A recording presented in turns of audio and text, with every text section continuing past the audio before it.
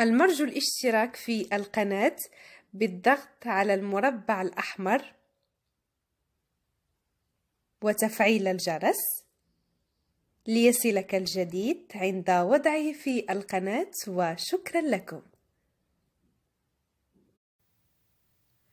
السلام عليكم ومرحبا بكم مرة أخرى في القناة ديالي الدائم الهام شنال جيسبر إن شاء الله تكونوا بخير وعلى خير تكونوا فرحانين تكونوا ناشطين تكون الأمور ديالكم مزيانة وفي التمام عن جميع السيدات عن جميع الحبيبات المتتبعات الغزالات الوفيات على القناة ديالي اللي هي أكيد أكيد الهام شنال وصفة اليوم إن شاء الله غادي تكون وصفة للتخسيس فبملعقه واحدة على الشاي.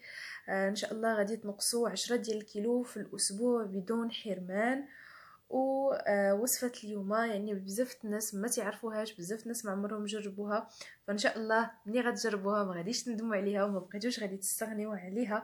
لما لها من فوائد ولما لها من مزايا تعد ولا تحصى. فاليوم غادي نتعرفوا على آه يعني المكونات ديال هذا المشروب هذا طريقة التحضير طريقة الاستخدام. وإن شاء الله غادي نوريكم الطرق اللي حنا ما كنستخدموهمش ولا ما كنشربوش الشاي بالطريقة الصحيحه فهاد الطريقة هذه البنات إلا اعتمدنا عليها فكونوا متأكدين أننا غادي نقصوا الوزن واخا نشربوا غير كوب واحد أو جوج الكؤوس في اليوم. فكونوا متأكدين أننا غادي نقصوا الوزن. فبالنسبة ل... قبل ما نمشيو نتعرفوا يعني على المكونات فنبغي نرحب بكل من كيزور هذه القناة سواء النساء رجال مرحبا بالكل ومرحبا بالجميع. وصفة اليوم هي للجميع يعني للجنسين معا أي للنساء وللرجال أيضا. فنبغي نرحب بكم مرحبا بكم وألف مرحبا. إلا كنتو أول مرة كتشاهدوا هاد لاشين فما تنساوش تضغطوا على زر الاشتراك تفعلوا زر الجرس خليو لي التعليقات الاقتراحات الاستفسارات ديالكم وكل ما كيتعلق بكم أكيد وبأي وصفة طبيعية نالت الرضا ديالكم ونالت الإعجاب ديالكم. بغيتو تبارطاجيوها بغيتو تشاركوها معنا فمرحبا بها. فدابا غادي نمشيو باش نتعرفوا على مكونات هاد الوصفة طريقة التحضير ديالها والاستخدام والاستعمال ديالها هذا هو أهم شيء أكيد. فبسم الله على بركة الله. غادي نمشيو الان نتعرفوا على مكونات هاد الوصفة هذه فبالنسبة للمكونات غادي نحتاجوا واحد الكوب ديال الماء وغادي نحتاجوا خل التفاح. هاد الطريقة هذه البنات غادي نحاولوا دائما نعتمدوا عليها قبل كل وجبة بنصف ساعة سواء وجبة الفطور وجبة الغداء وجبة العشاء. فدائما ناخذ كوب ديال الماء. الماء من الأحسن دائما ناخذوه قبل الوجبات باش هكذا يهضم لينا وبالتالي ينقص لينا الوزن. ما ناخذوش وسط الوجبات أو لما نكونوا مثلا كنتغداو نتغداو وناخذوا كوب تاع الماء. هاد الطريقة غير صحيحة بتاتا. وما غتساعدناش على النقصان ديال الوزن اولا التخسيس فقبل وجبه ديال الفطور وديال العشاء وديال الغداء الوجبات الرئيسية دائما ناخذ واحد كوب إلى كوبين من الماء ونضيفوا لهم خل التفاح. خل التفاح البنات رائع جدا عنده عدة فوائد وعدة مزايا. فأنا غادي نوريكم الطريقة. عاد من بعد ندوزو للطريقه ديال الشاي. فغادي ناخذ ملعقة. أو ملعقتين أو ثلاثة معالق إلا ما عندكم حتى شي مشكل مع الخل. وكنحاولوا نخلطوا الكل. وكناخذوا هذا الكوب هذا الرائع.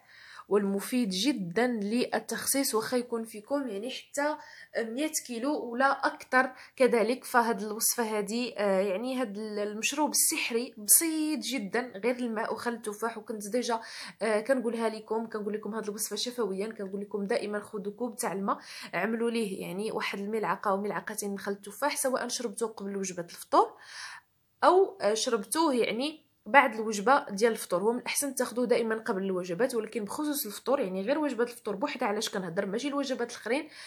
فبعض الناس أو بعض السيدات كيقدروا مثلا ما يستحملوش قبل الفطور يقدر يسبب لهم بزاف ديال المشاكل. فداكشي علاش قلت لكم ممكن تاخذوه قبل غيكون أفضل بنسبة كبيرة بعد غيكون مزيان ولكن ماشي بنسبة كبيرة بحال قبل الوجبة ديال الفطور. فدائما خذوه قبل الوجبات.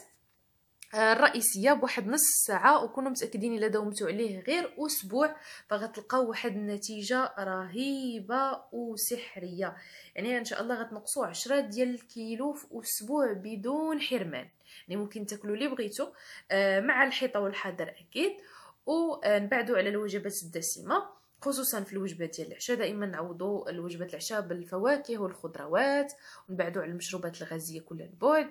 ودائما ناخذ هذا الكوب هذا كما قلت لكم اللي هو آه، كوب من الماء العادي سواء الماء المعدني أو العادي على حسب كل واحد شنو كيفضل ومن بعد كتاخذوا واحد ملعقة إلى ملعقتين من خل التفاح وتوضعوها فيه تخلطوا الكل وتشربوا بالصحة والراحة بدون تحلية. الناس اللي غتسولني في التعليق واش ممكن نشربوا هذا الكوب ديال الماء بواحد ملعقة العسل أو بملعقة السكر. فإن فوا توضعوا العسل والسكر فكونوا متأكدين أنكم غتزيدوا الوزن ما غاديش تنقصوا الوزن. فدابا غادي ندوز معكم إن شاء الله الطريقة ديال آه يعني الشاي اللي قلت لكم. فبسم الله على بركة الله. دابا آه يعني عرفنا الطريقة الأولى. فكما كتعرفوا على الشاي دائما كنشربوه يعني بالطريقة المعتادة وبالطريقه المعروفة. هنا خديت حبوب الشاي آه ما مطحونينش هو من الاحسن يكونوا مطحونين. أنا غير جبتهم يعني هنا عندي آه أتاي الشعرة. كما كتلاحظوا. فجبتو آه، غنستخدموا بهذا الشكل. نتوما من الأفضل أنكم يعني آه تاخذوا شاي بودرة من الأفضل. فغادي نوريكم آه الآن الطريقة. غادي ناخذوا كما قلت لكم حبوب الشاي مطحونين آه، كوب من الماء وغادي ناخذ البودرة السحرية اللي هي الزنجبيل أو السكينجبير بودرة. سواء كان بودرة أو كان طازج. حتى وإن كان طازج غتكون الوصفة رائعة. ما عليكم إلا تاخذوا سكينجبير طازج وتبشروه أو لا تحكوه وتستخدموه في هاد la recette عنده عدة فوائد لا تعد ولا تحصى. الناس اللي آه ما بغاوش يستخدموا مثلا سكينجبير طازج بحكم البنة ديالو كتكون شوية قاصحة. فمن الأحسن تاخذوا آه زنجبيل بودرة. آه عفوا الزنجبيل الطازج غتلقاو عند أقرب عشاب اولا أقرب عطار متوفر حداكم في المنزل اولا في البيت ديالكم. غادي تجيبوا داك الزنجبيل تغسلوه وتنشفوه ومن بعد تبشروه وتستخدموه في هاد الوصفة هذه أه واخا غير تستخدموا منه غير كمية قليلة. بالنسبة للناس اللي غيقولوا لي راه عندنا مشكل في المعدة عندنا مشكل ما نقدروش يعني أه نشربوه ما نقدروش فإن شاء الله دابا غادي نعطيكم فوائد الزنجبيل الرائعة. يعني آه عنده عدة فوائد منها حماية عضلة القلب والأوعية آه الدموية تخفيف ألم آه المصاحبة لالتهابات المفاصل تقليل التورم الحاصل في العضلات والمفاصل أيضا تحسين المزاج والشعور بالراحة بالنسبة للناس اللي دائما كيتقلب لهم المزاج ديالهم يعني في ساعة. تخفيف الألم المصاحبة للربو والتهاب القصبات الهوائية وتسريع شفائها حماية الخلايا الدماغ وتقوية الجهاز المناعة في الجسم. علاج بعض الحالات أو بعض حالات السرطان كسرطان قولون والمستقيم. يعني بالنسبة للقولون المستقيم هذا السكينجبير أو الزنجبيل سواء كان بودرة أو كان طازج عنده عدة فوائد بخصوص ذلك. وما نساوش أنه رائع جدا بخصوص التخسيس فالآن غادي نمشي نعمل معكم الوصفة. فبسم الله. غادي ناخذ هذا الكوب تاع الماء وغادي نضيف له كمية من حبوب الشاي. كما قلت لكم الأحسن يكون بودرة. بحال غتصنعوا يعني آه اولا غتصاوبوا كما كنقولوا حنا أتاي عادي.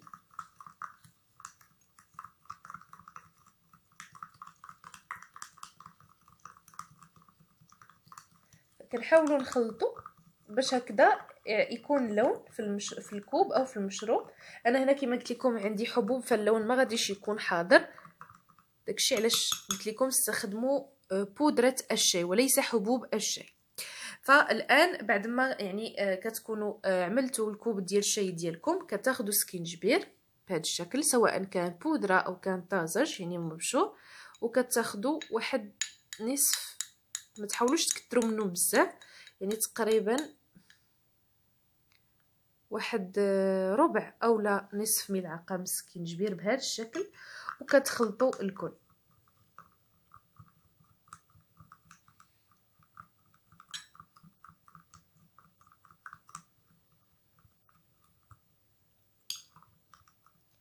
وبالتالي المشروب كيصبح واجد للاستخدام أو للاستعمال.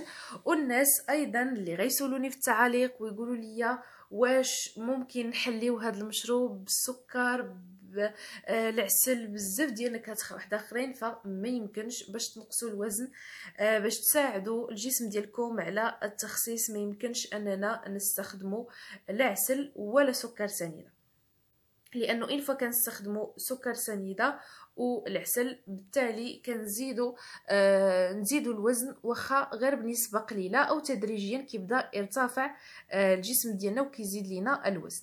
فمن الإحسن أنه جوج المشروبات اللي قدمت لكم اليوم سواء هذا الكوب اللي غتبقاو تاخذوه يعني قبل الوجبة ديال آه، الفطور والغداء والعشاء بنصف ساعة بخل التفاح غادي تاخذوه يعني بدون تحلية. وكذلك المشروب ديال الشاي آه، اللي وريتكم بهذه الطريقة هذه إن شاء الله نجيكم بعده طرق لأنه بزاف الناس كاين اللي ما كيفضلش السكينجبير كاين اللي ما كيبغيش كاين اللي ما كيستحملش ديك البنة ديالو والنكهة ديالو. فاكيد عذر الجميع. نحاولوا نجربوا هذه الطريقة هذه وإن شاء الله في فيديوهات قادمة.